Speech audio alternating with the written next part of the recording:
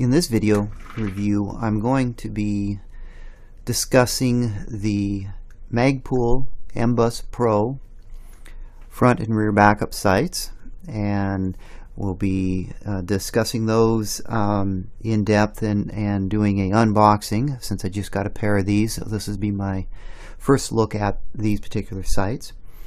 Uh, later on in the video, I'm also going to compare these to the Spikes Tactical Micro backup sights, the newest offering from Spikes, and set these up side by side and, and basically see which pair is the best ones to um, get for your rifle.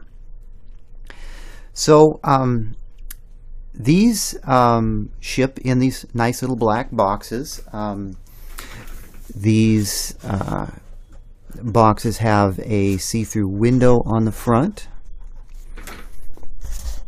And on the back the boxes just talk about um, uh, they just give some of the specs um, which I'll read off. The front sight which is on the left uh, all steel construction elevation adjustment knob, no tools required, positive detents in both the up and down positions, 0.432 inch height above rail at tallest point when stowed, that means when folded down, standard AR sight height when deployed, that means when open, stowed footprint covers less than 1 and 5 eighths inch of rail. The rear sight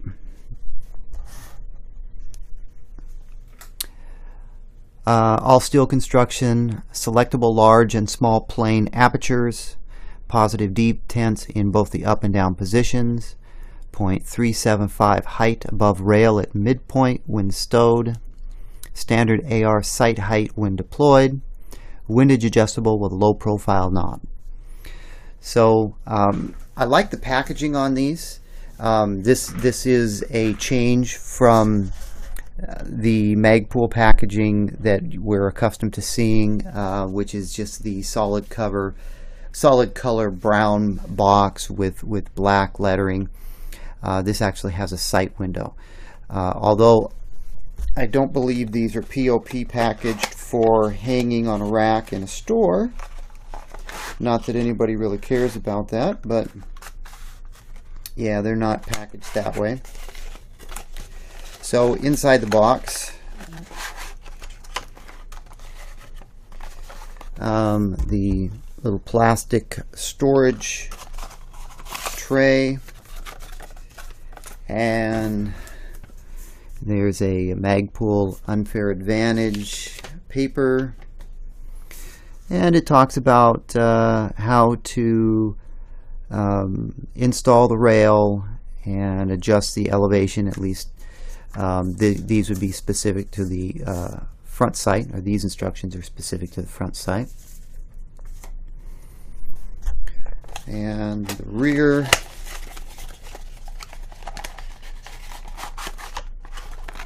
same deal, little plastic storage box. Um, these are nice little plastic storage boxes with uh, an embossed Magpul logo on it, uh, so definitely very nice packaging.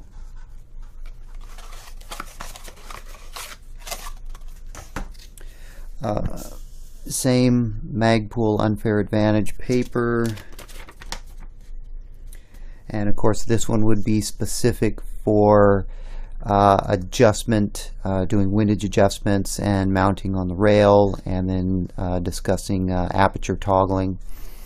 Uh, there is no Magpul stickers in the boxes. And the uh, rear sight uh, has a uh, Magpul part number of MAG276 and the front has a Magpul part number of MAG275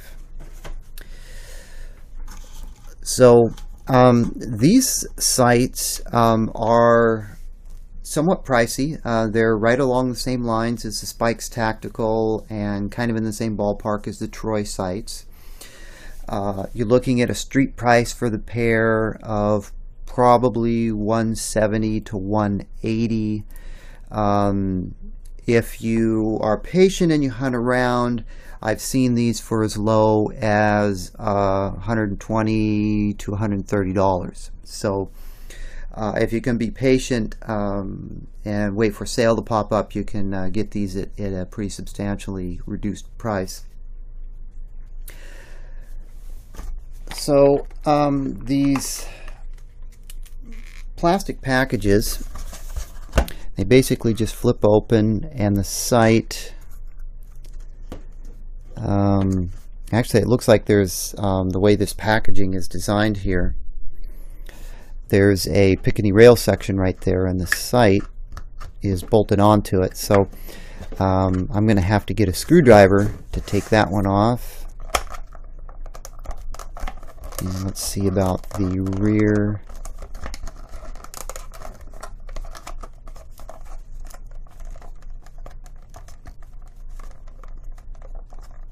The rear is taped shut.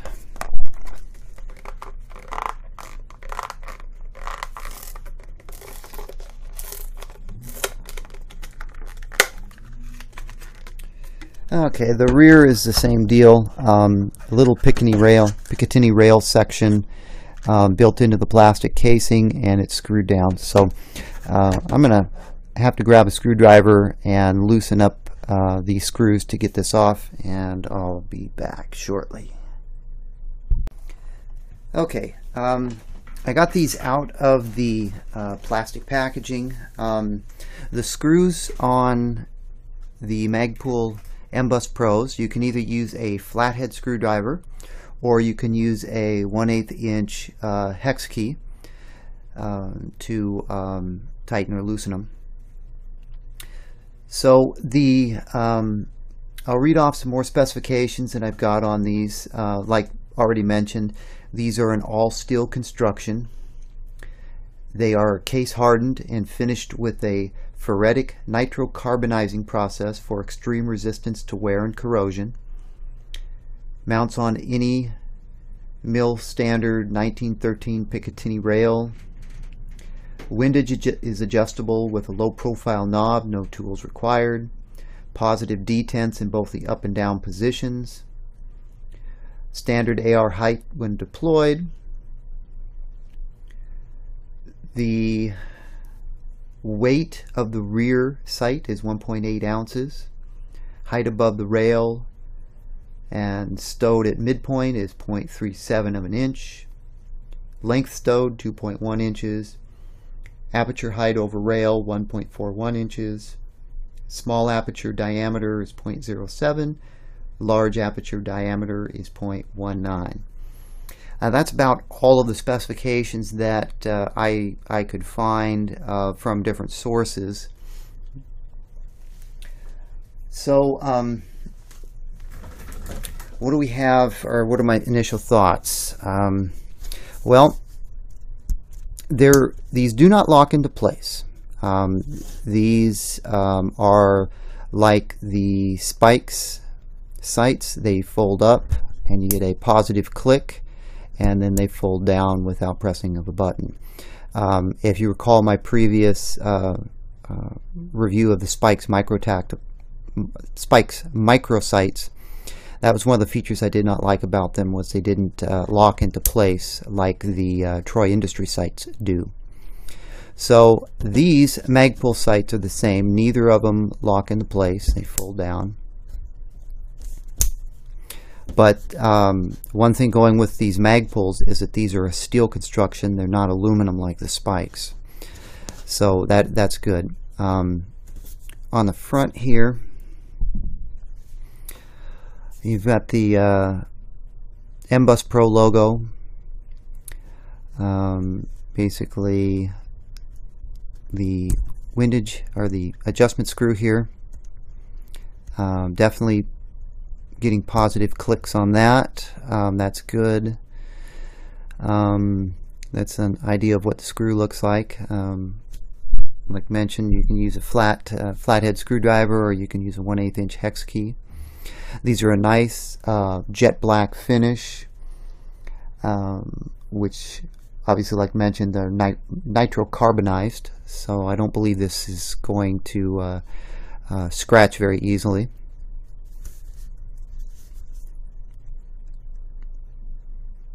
And of course these are made in the USA. Uh, steel pin, I don't know if that's a hollow steel pin. Uh, these do appear to be very well constructed. They are very small, low profile. Now the backup sight, um, right off the bat, let's see.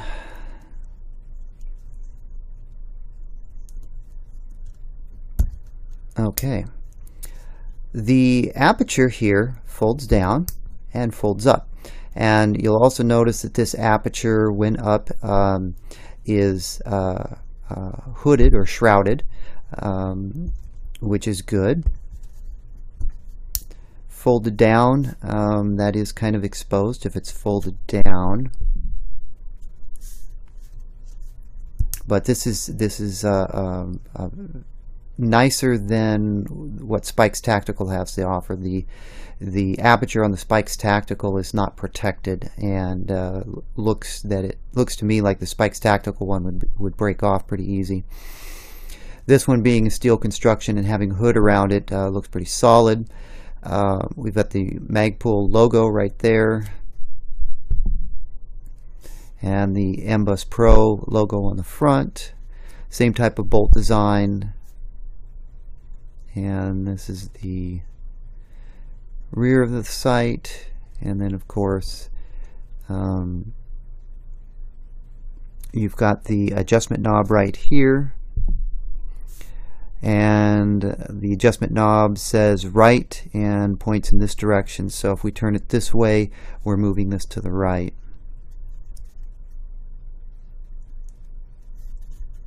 Positive clicks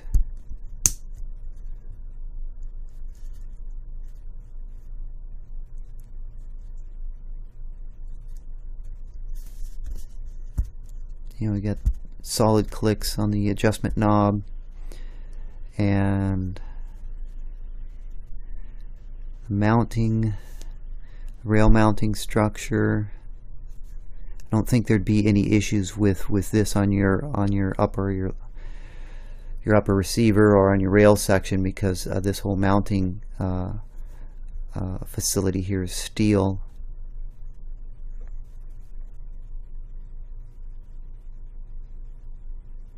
Yeah, basically everything is steel according to uh, the information off of uh, Magpul's website.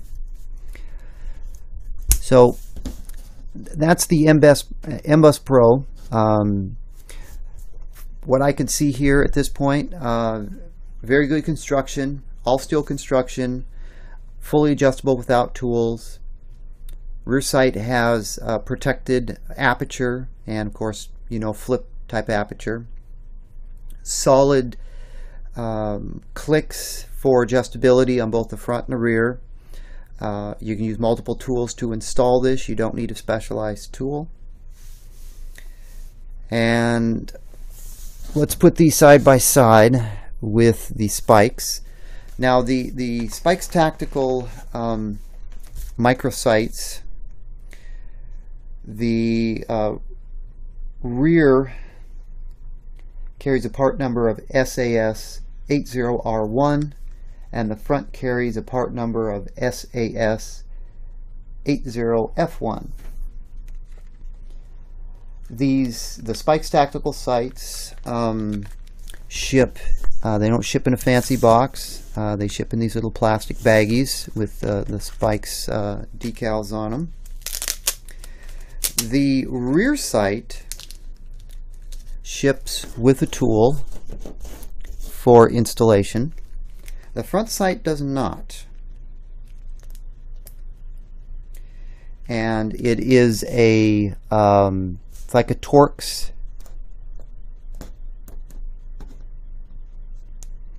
It's uh, uh, like a Torx wrench. And if you recall my, my previous review of these sights that I did, the Torx wrench that came with the rear sight doesn't fit the front sight, although they are listed as being the same size. So there's some issues either with the torque, the, the Torx wrench being out of spec or the bolt on the front sight being out of spec. So, um, So here's the Spikes tactical sights.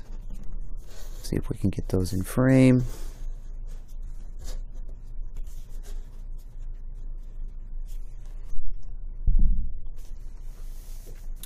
All right, so um, let's talk about the pluses and the minuses. Um, let's see, um, I'm just reading over some notes here for some specs on the spikes. Uh, spikes gives them a lifetime warranty, made in the USA, of course. The bases and uprights are aluminum. They're machined from 775 T6 billet with a Type 3 hard anodized finish. All of the smaller parts are CNC machined from 4140 chromoly billet with a nitride finish. The cross bolts are CNC machined from 68L4V titanium with a hard anodized gray finish. They utilize the T25 Torx Plus or a T25 IP head. The it says the correct T25 Torx Plus wrench is included. Um, well, it's included with the rear. You don't get one with the front. The bases have stainless steel locking thread inserts to uh, eliminate the risk of them loosening up over time. Titanium cross bolts, bolts are hollow so the operator could safety wire them in place if they felt the need.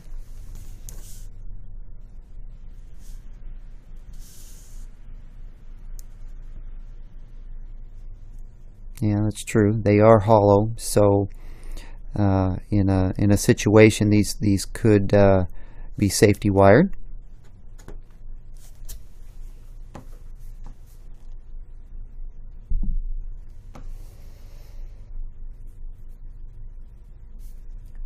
Um, the spikes, both sights are adjustable without tools.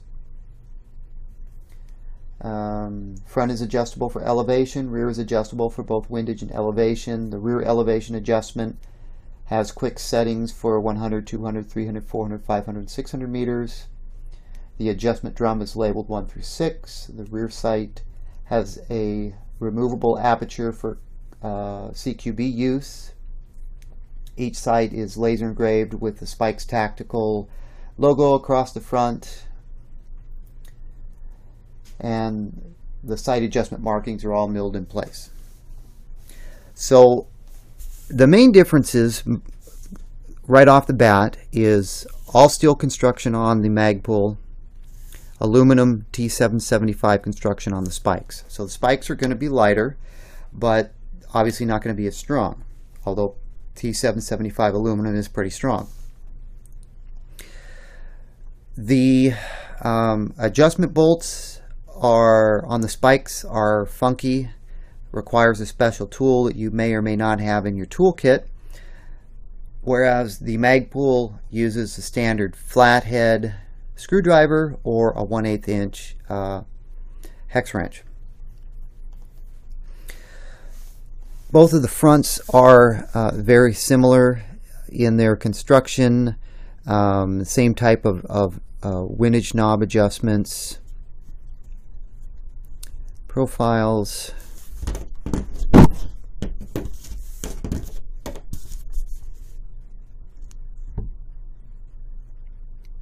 Very similar. Side profile. Very similar roughly the same height. I think the Magpul is a little bit taller.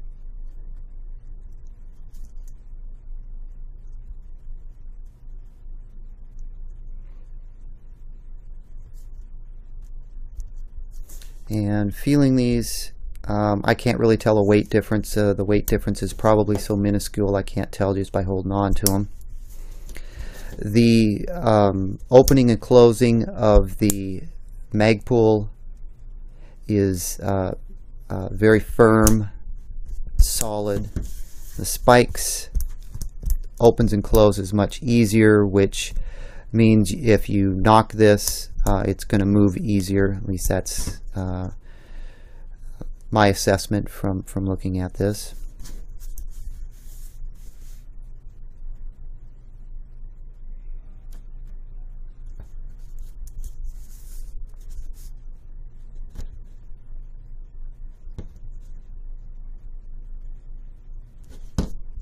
Okay, so those are the fronts.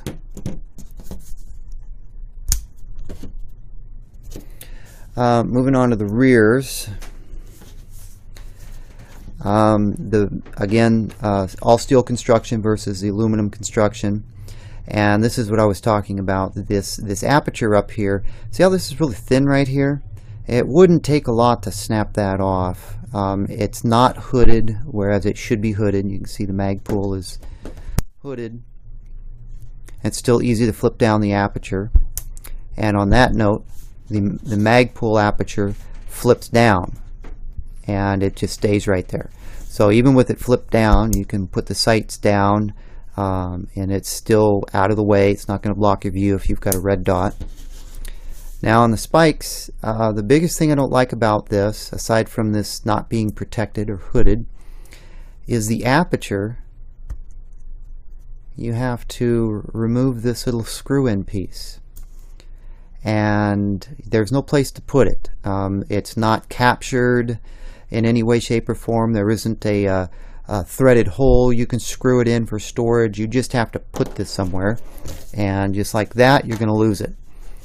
Um, really bad design, in my opinion, uh, to have something like this that's removable uh, out, you know, in field use or something. You've got to remove this, and where are you going to put this? You can throw it in your pocket, and if you've got shooting gloves on, you better hope you don't drop it, uh, especially in the grass or the dirt. You're going to lose it.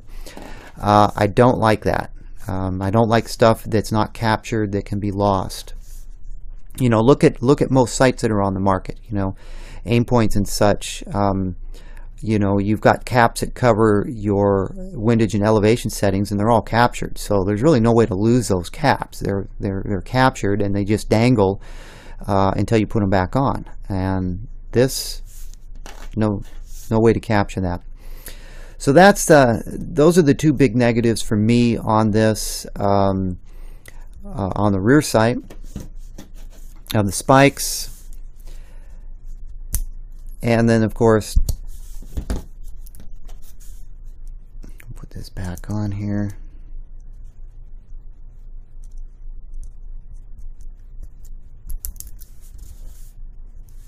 Look at the profile settings, or the, the side profile. Very similar. They roughly sit about the same height.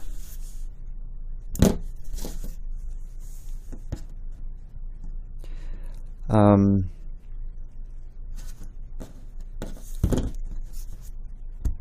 the spikes windage knob has positive clicks.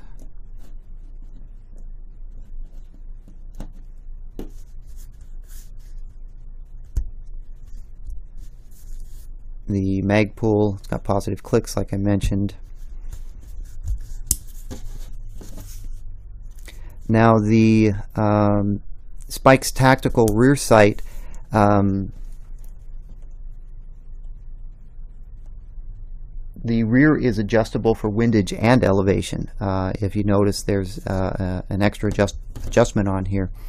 Uh, the Magpul is is not. It's uh, uh, adjustable for windage only.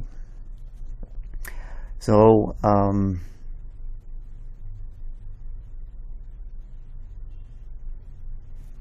That's a, that's a plus on the side of the spikes. So um, after looking at these, um, I like certain features about the Magpul. I like certain features about the spikes. Uh, it's hard for me to kind of pick a, a winner. Um, I think uh, the longevity of the Magpuls um, would be better, um, especially on the rear with the uh, shrouded uh, aperture. Uh, they are a bit heavier because they're all steel construction, but in the grand scheme of things, I don't I don't think the all steel steel versus the T775 aluminum there's going to be that big of a weight difference. Um, so I'm kind of on the fence on on uh, what would be my recommendation, but what really kills me, like I mentioned, uh, is the uh, rear aperture setup on the spikes with the removable um, aperture piece. I don't like that, and I don't like the fact that it's not shrouded. So uh, my pick um, is going to be for the Magpul. Uh, at this point, uh, I think for probably the next generation of Spike's tactical sights, I think they'll probably fix those, those small oversights and, and have a really good product uh, at that point. So anyway, I don't have anything else to add um, right now about the Magpul MBUS Pro sights, but uh, I'm definitely going to put them on my rifle and uh, sight them in and give them a try. And if I have any any other concerns or I discover anything else, I'll report back in the comments of the video.